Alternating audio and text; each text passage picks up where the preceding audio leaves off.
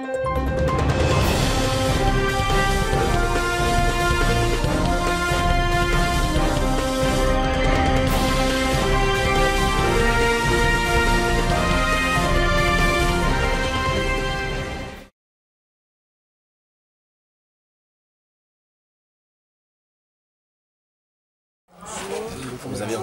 conférence de presse ce matin.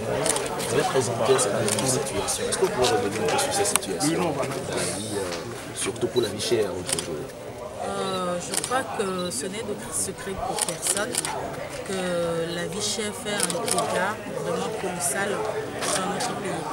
Ce qui pousse certains au suicide et d'autres jeunes à prendre la route de l'immigration clandestine. En effet, les Togolais n'arrivent plus à manger au moins deux fois par jour parce que le prix du maïs, euh, du bol de maïs qui, favorise le plat de base du Togolais a- est- s'est doublé, plus que doublé. Je crois que le, bol de maïs était à 400 et aujourd'hui c'est à 900 et 1000 francs dans certaines localités. Donc euh, cette conférence de presse, cette sortie dans un premier temps pour dénoncer cette situation de chère. Parce que euh, vu les richesses que nous avons au Togo, normalement aucun Togolais ne doit mourir de faim sur la tête de nos aïeux, même ceux qui ne travaillent pas mais ce n'est pas le cas. Euh, deuxième cas que nous, voulons nous avons sorti dans cette conférence-là, c'est la violence faite aux femmes, surtout dans nos marchés. Nous avons cité un exemple, cette femme qui a été tabassée presque à mort dans le marché à cause d'une question de, de ticket de 500 francs. Donc nous avons dénoncé cette violence-là et la violence euh, faite aux femmes euh, dans les foyers. Les maris qui bastonnent les femmes pour un oui ou un non également des, des cas de harcèlement sexuel. Le taux de chômage, comme euh, ma consoeur avait dit, était de 70 et de 70%. Ce qui fait qu'aujourd'hui, en tant que femme, lorsque tu vas chercher un boulot, tu es obligé de baisser ta culotte.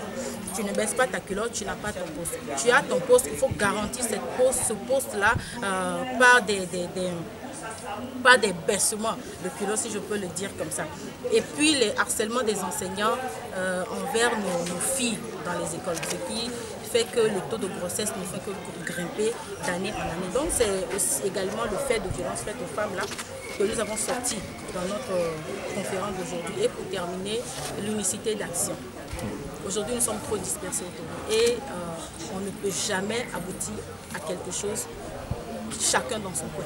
Nous devons nous unir. On a un seul adversaire. Nous devons nous unir, même si nous avons des, différends, parce que nous avons un adversaire qui est plus puissant, qui nous malmène tout. Nous devons nous unir pour vaincre ce Goliath-là. Et par après, si nous voulons maintenant nous manger entre nous, manger entre nous. Donc l'objectif, c'est d'unifier euh, les partis politiques, les sociétés civiles, les syndicats et toutes les, organisations de la société civile pour une unicité d'action. Les femmes pyramides que vous voyez aujourd'hui, nous seuls, nous ne rien du tout. D'ailleurs, si nous organisons cette conférence de presse et que vous n'êtes pas venus, c'est comme si nous n'avons rien fait. Nous avons besoin de vous, vous avez besoin de nous, et nous avons besoin de tout le peuple togolais. Parce que ce qui aurait sorti de, de ce- projet qui est Femmes Pyramide bénéficierait à tous les Togolais. Donc, je vais profiter de l'occasion pour faire appel à tout le peuple togolais de se joindre à nous. Ma prière est que lors de la prochaine conférence de presse, qu'il n'y ait plus les mêmes visages, qu'il y ait d'autres femmes capables de parler et d'elles-mêmes, de, de- de dire ce qu'elles ressentent. Il ne faut pas que ce soit nous qui portons toujours la voix comme s'il n'y a que nous qui souffrons. Voilà un peu euh, l'objectif de notre conférence et ce qui en est sorti aujourd'hui. Alors, euh, dans votre déclaration liminaire, vous avez formulé un certain nombre de revendications. Est-ce que vous pouvez revenir un peu sur ces revendications? Effectivement, nous avons formulé sept revendications. La première est de la, suppression des, des- des- des prix qui ont été augmentés sur le péage, l'électricité et puis l'essence. Parce que toutes ces choses ont une certaine répercussion sur le panier de la ménage, qu'on le veuille ou. La deuxième, c'est la dépression fiscale.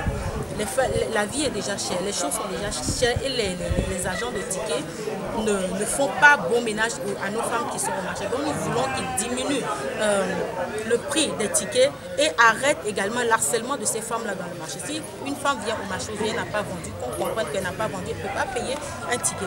Nous avons également demandé des mesures urgentes pour les couches vulnérables et surtout pour les femmes. Parce que euh, les femmes sont celles qui paient le plus aujourd'hui. Aujourd'hui, comme un, un un confrère, ou bien la consoeur avait souligné, les retraités, les malades, ceux qui n'ont pas de soutien meurent, ils sont laissés pour leur compte. Donc nous voulons des mesures d'urgence en tant que des enfants togolais qui puissent bénéficier de quelque chose de l'État et diront un jour oui, j'ai mangé le produit ou bien les richesses de, de mon pays. Nous voulons également euh, que l'harcèlement des, des, forces de l'ordre s'arrête. Beaucoup ont, eu cette préoccupation, pensaient qu'on viendrait nous ramasser aujourd'hui. Nous sommes dans un pays démocratique, supposé euh, pays démocratique. Nous sommes libres de circulation, nous sommes libres de parole, nous sommes libres de pensée, nous sommes libres d'opinion.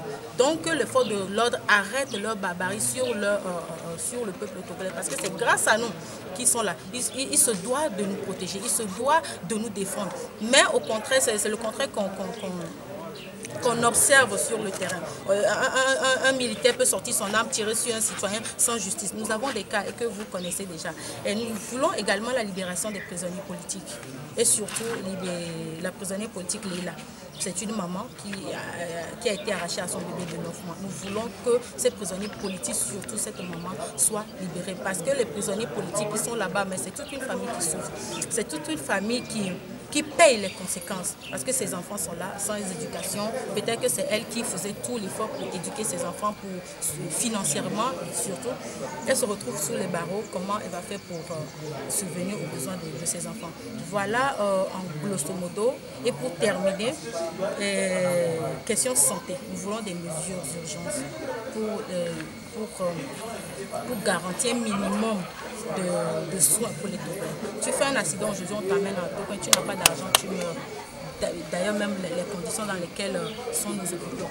Donc, on voudrait qu'en tant que Togolais, lorsqu'on va à l'hôpital, que les premiers soins soient au moins gratuits, garantis que quand tu as un accident, que personne n'ait peur que si je l'amène, on va dire où est l'argent qui est ses parents. Non, on, voulait, on veut que tout Togolais ait accès aux soins gratuits, dans les pires des cas, gratuits et sur tous les plans en fait. Voilà un peu nos, cette. Un message